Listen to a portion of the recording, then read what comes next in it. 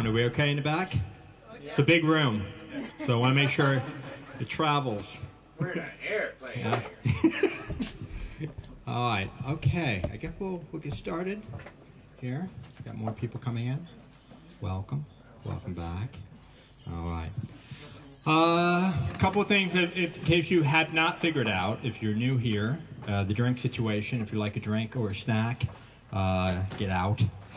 Literally, get out. Come back. Um, so uh, that's the situation, and uh, I'm sure you can find other things from people in the alley, too. not looking at anybody in particular. Welcome. Come on in. All right. Now, a couple of things I, I want to go over. This is the, the first edition of Penny University. This is a, a project that I've wanted to do for a really long time. And uh, I want to kind of give you some info and some backstory to explain what I'm hoping to accomplish uh, here uh, here tonight. Welcome. I doing? Are there uh, extra chairs you want to grab? Help yourself. All right. Um, so, uh, Penny University, if you're not aware of the name, is uh, actually very cool. But essentially, in the 18th uh, and 19th century in England, penny universities were coffee shops, and uh, they were called uh, penny universities because you could go for a penny and meet with other people, and you could uh, lecture and have, have conversations and, and learn something uh, at a cheap, obviously very very cheaply. so the I went and I discovered the name over 20 years ago at a coffee shop uh, back in Florida called Penny University. And Penny, and when I was at university, uh, we used to go there every Wednesday night, and we they would have spoken word nights like we're doing tonight, where essentially they had a microphone, a stage, and anyone could go up and tell a story. You could read a poem, or you could just go up and, and rant. There was one guy named Tim who would just kind of go up and scream at people for 10 minutes. He was kind of going through a lot, uh, but it clearly it was his way of, of getting through life. And it was just really cool, and it was a very comfortable and, and uh, cozy environment. Uh, and the coffee was good, and the people were great. And it was my first experience being on stage, my first experience uh, uh, trying to entertain people. And it was, I think, very very crucial in my development uh, as uh, someone who does uh, performance on stage now. Uh, how you doing? I was, welcome back.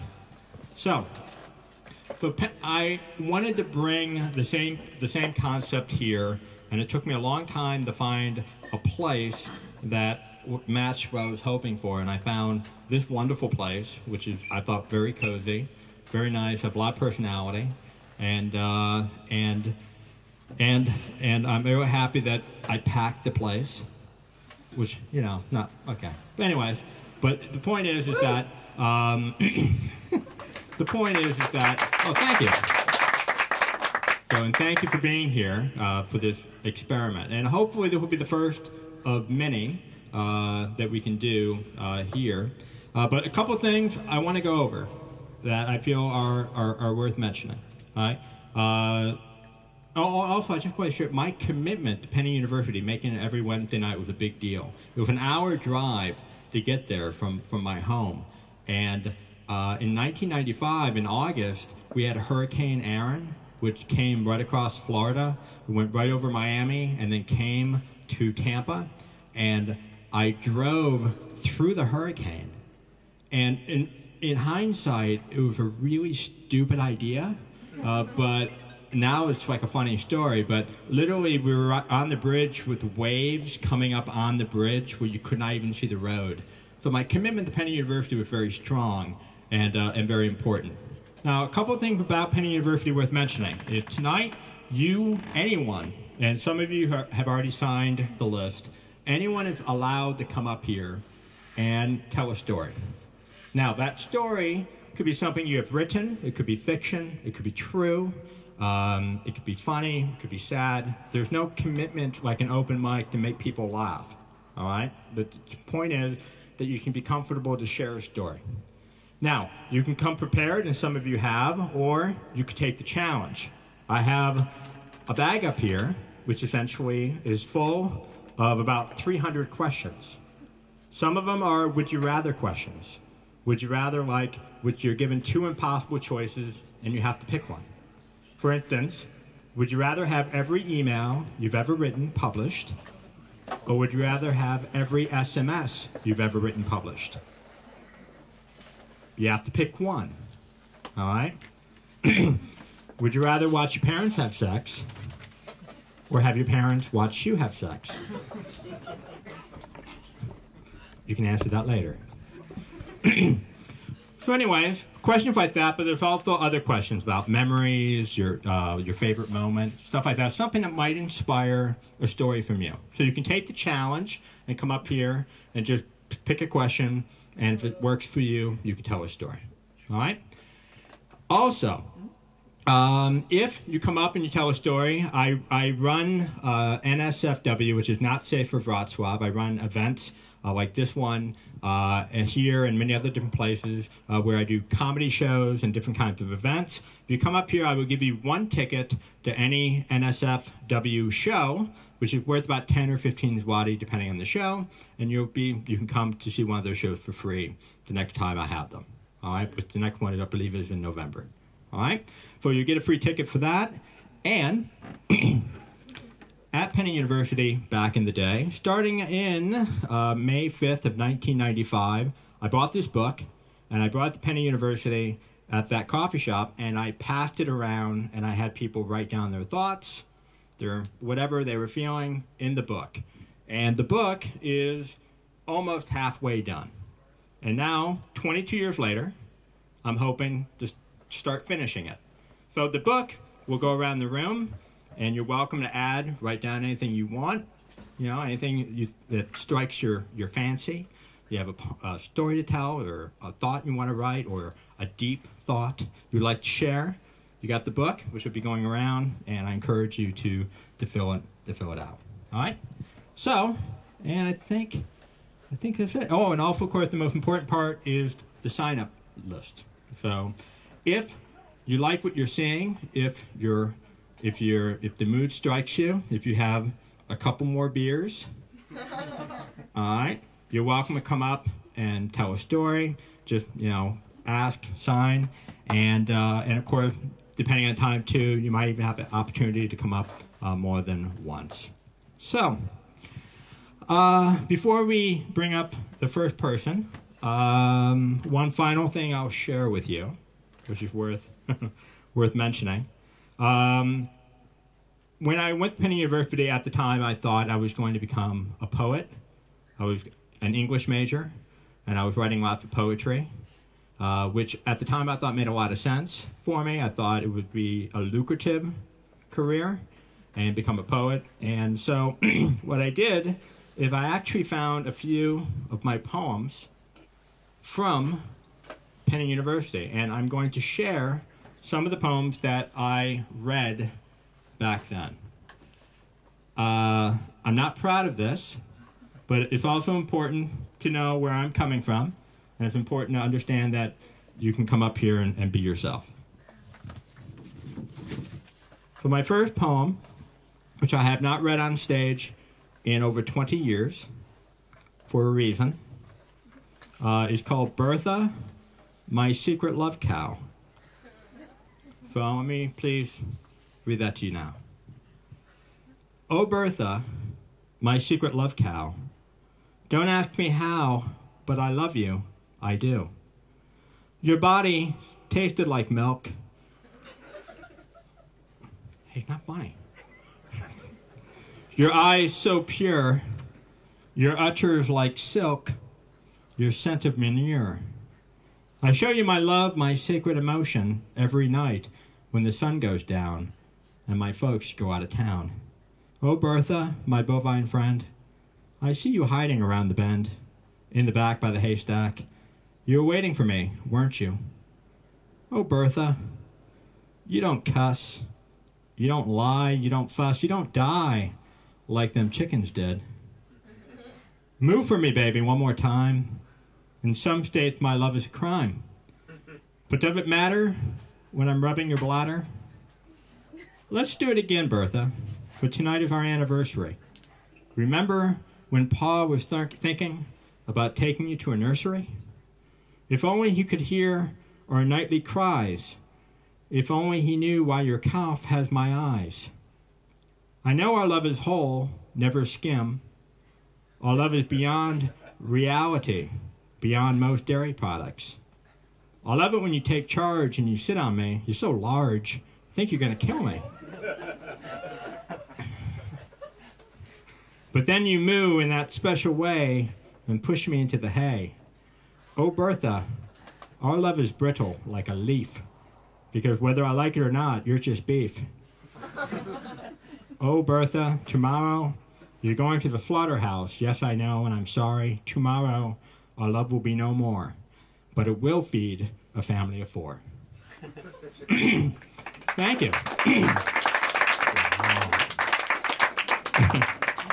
yeah, I, I, I, didn't read it beforehand. I wanted to go in cold. Now I'm, I'm I regret that. uh, um, one one more poem. As you can tell, I wasn't very good at this, and um, but this one is. Uh, uh, Bob, and I don't have a name. Okay. Um, this is another one. Bob, being beepless, bought a beeper. Bravo! Bob brings his beeper everywhere. But nobody beeped Bob's beeper. Thus, beepless was Bob still. Bob, being bombastic, beeped himself all night long. Beep, beep, beep. His beeper was not cheap, cheap, cheap. Bob met Betty. Betty beeped Bob for breakfast. Hooray! Betty brought bacon and bagels. Betty buys a beeper. Bob beat Betty. Betty beat Bob. But Bob found out Betty beeped other boys. Beep, beep, beep. Betty was a creep, creep, creep. Bob made a bunch of friends. Yippee! They beeped Bob. Bob Beeper Beeper's batteries lasted barely a week as it beeped its beeps, bringing Bob to de-beep his beeper. Beep, beep, beep. Bob Beeper never did sleep, sleep, sleep. Bill, Bob Buddy, beat Bob. Yowzers, Bingo, Bill Beagle, barked at Bob Beeper. Bob begged Bingo to be quiet, but Bob buried Bingo in the backyard instead. Bill doesn't beep Bob anymore. Beep, beep, beep. This poem is not deep, deep, deep. Anyway. So, the point is, anybody can do this. All right? Anybody. Doesn't take any talent whatsoever. Hello. Hi. Hi, we've been waiting for you. I know. To come on and have a seat. All right. So, I want to bring up uh, the, our first guest. Uh, she she actually uh, contacted me, and uh, I'm an idiot because I, I did not ask her the pronunciation of her name. It, Sh- uh, Shima? Perfect. Is it perfect? Yeah. For real? I grew up in Holland. Everybody can say my name the way they like. All right. Well, I, I apologize. Fine. Meet a later. Uh, well, anyway, uh, she contacted me, and uh, and she's going to come up and uh, read us a, a selection uh, from her work. Uh, so, everyone, please, uh, you ready? Are you ready? Ready? Please give a warm hand to Sheila.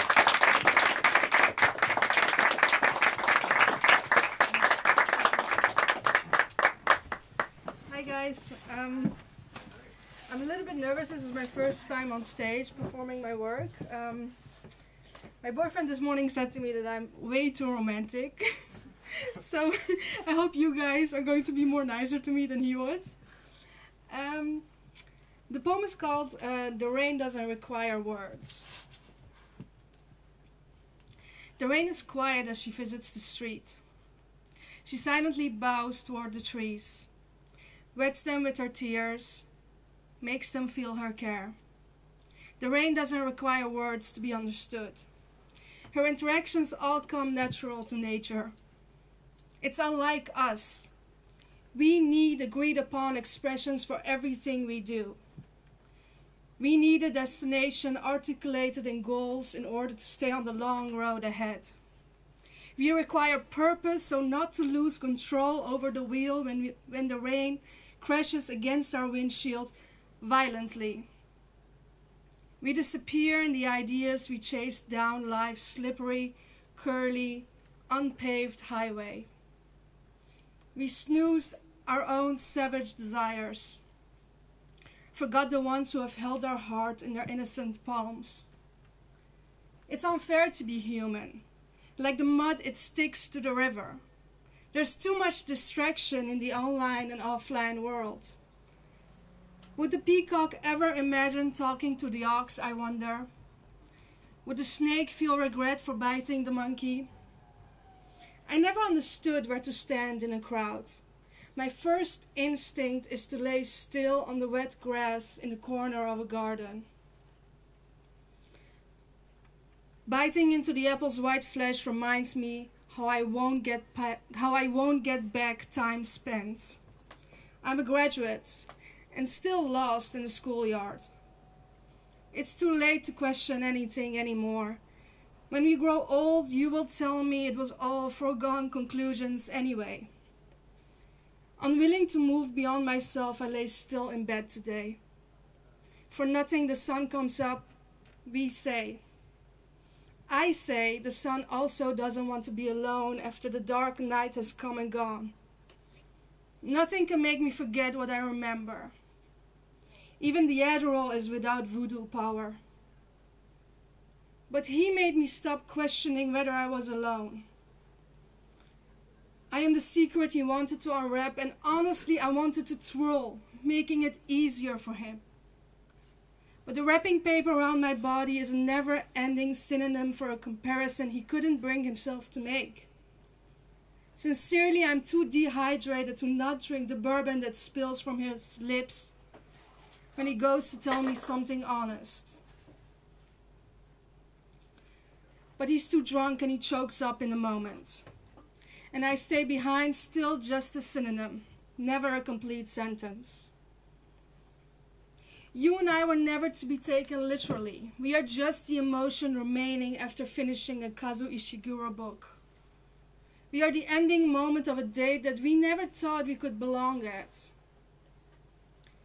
We explored out onto the sea unprepared, forget that there is no compass built in on this weak body of ours.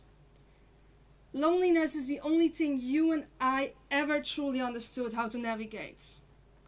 Allowing the suffocating waves to swallow us into their little pockets of silence was like paradise to us.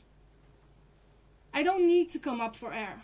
I can breathe underwater by remembering who I used to be. Nothing will be passed down to me from a world that can't see me. The little boat we are on will sink. You and I are too morally burdened to surrender and too weak to fight. You and I are not fighters. We are lovers. Neither are we scientists, even though we subscribe to the idea of science. Nevertheless, we lack the ability to distillate love from the howling wind. So we run. And we run and we hide, hoping the sun won't find us, won't torture us for answers we can't articulate. Nothing has an ending that we crave. It's just a hiding part we are familiar with. We know we will wither away. That's our way. We don't fight and we don't lose, but we also won't gain anything new. You and I are leaves of a tree that has already died in the winter. Somehow we are still alive, lying here on the street. But you and I know the secret to the lie we tell each other you and I realize we turned out to be the criminal. You and I realize we turned out to be the criminals in the play we wrote. You and I know crystal clear we will never fight for you and I. Because you and I are not fighters. We would have been the jesters of the court. With weak bodies, we curl up into each other when it gets below bearable. You and I remorse the love we never got and never learned how to give. And you and I will never learn how to grow into a tree. Bird branches that try their best to reach the sky, knock on doors, walk in fearless, walk in fearless.